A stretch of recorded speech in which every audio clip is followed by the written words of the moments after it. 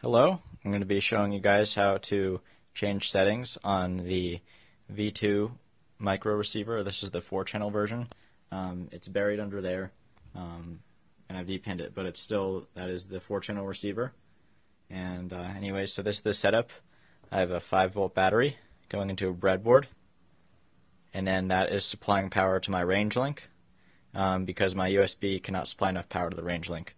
Um, and I also will be powering the flight controller from this breadboard. You don't need a breadboard. I've done it without one.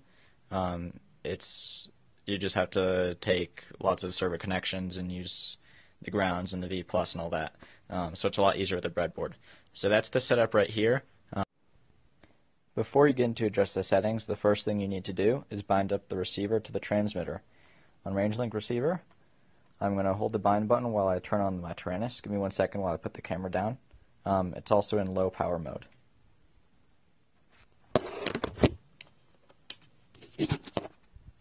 Okay, holding the button down, and now I can let go, and the light should blink. That should indicate that it's in bind mode. Next thing I'm going to do is power up the receiver. So let me put the camera down. Basically, I have this breadboard I'm going to be supplying the um, receiver 5 volt power. Uh, one second. Okay, so I've got the receiver powered, and now there's a solid light um, indicating it is bound. And now I'll uh, shut everything off and just turn it back on and make sure I see the the like breathing slash flashing light on the range link. That means that it's bound. Once that we do that, we can move on to configuring the receiver.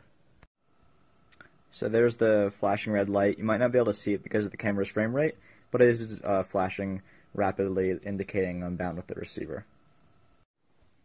Okay, so what we're going to do now is we're going to power up the receiver. Um, receiver's already bound to the transmitter, so um, as you hold down the bind button, you're going to want to um, power up the receiver and hold it for about a second until the first light comes on. It should be the um, the solid blue light should come on. Um, if you hold it too long, the red light will come on also. You don't want to do that. So while I'm holding the bind button, I'm going to power up the receiver. And you can see um, the blue light is on. If the red light was on, it would be um, right there solid. Um, you don't want to put it in that mode. So now that this is powered up, we want to switch the transmitter to high power mode. Um, I've unplugged everything from the bottom um, when you turn the transmitter on, you want to make sure it's not getting a PPM signal from your Taranis or whatever. So this is why I use the breadboard and connect everything separate. So the next thing you're going to do um, is you're going to power it up while holding the bind button. So let me just uh, get my ground and power in here. And then V+. plus. So I'm going to hold it 10 seconds until there's a long beep and then the light on the transmitter should be uh, solid, I think. Yeah. So holding the bind button down and inserting voltage. So I'm waiting 10 seconds.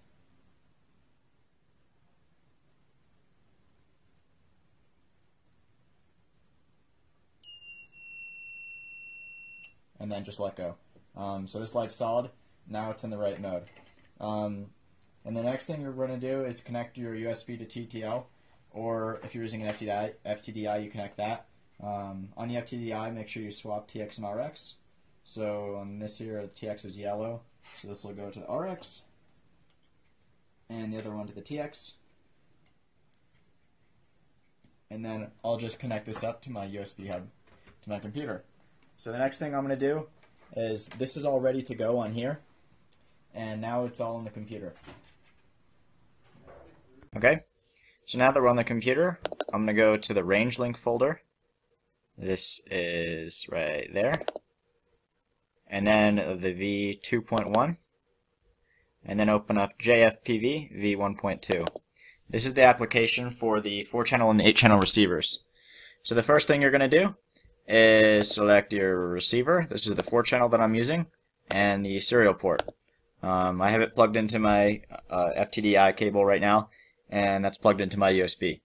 Um, so the first thing we're going to do is we're going to go to, well, basically, I should probably explain how this works. So these are the transmitter settings. This is for the the RangeLink transmitter. Um, I leave these as defaults. Um, if you change any of these, it'll affect all of your models. You can also affect the frequency or change the frequency right here if you want. I haven't messed with that either. Um, I pretty much ignore this whole box. And then um, for the receiver tab, so in the receiver tab, you can configure what outputs are on each pin. So this is like uh, output pin number one on the receiver. And then you can choose what channel it'll output. So normally, pin 1 outputs 1, pin 2 outputs 2, 3 is 3, and 4 is 4. One thing I usually do is change this to CPPM. Um, this is if I'm using a Naze or if I'm if I'm using like an APM or Pixhawk or something. Um, I'm not sure actually about the Pixhawk, but anyways, I use CPP, CPPM a lot for stuff, and you can only use CPM or CPPM or SBUS on output number four. All these other just have um, two through twelve or whatever. So, anyways, what I'm going to be doing on my mini quad is changing this to SBUS because SBUS is fast, and I'm using the revision three. Um, and then also what I'm going to be doing is on channel 8, I'm going to be using RSSI. I haven't actually tried this yet, so we'll see what happens. If it works, I'll add a thing to the end of the video. Otherwise, I will probably be talking to Sid to figure out how to get it to work, so you guys can figure it out too. Um, the nice thing about using SBUS is that you can have your link quality and RSSI, so I could do channel 7 as link quality, but I'll just leave this on none uh, because I don't need that. Anyways, so that's how you change settings on here. Anyways, once you get all the settings that you like, you can go ahead and click write, and it's going to say that. But um, if you if you look over at your receiver, you'll notice that the red light is now solid. That means that it took the settings. So now that we uh, we got the settings that we wanted, I've got RSSI on channel 8 and SBUS on the output number 4, we're good.